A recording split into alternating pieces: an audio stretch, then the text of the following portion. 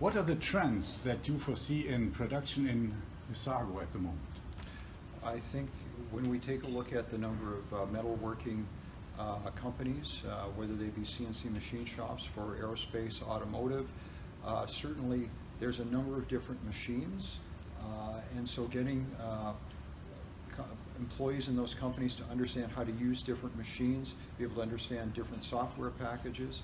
I think looking at some sort of a universal platform uh, so that uh, employees can work with different machines effectively. It takes uh, quite a while to become a very competent CNC machinist. I think that's something that I see uh, certain companies trying to address right now.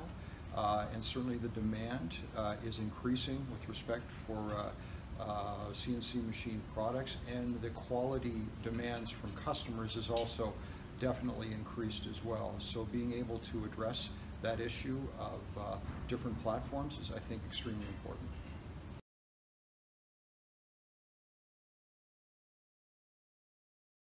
What would, would be your advice for companies to take part in EMO?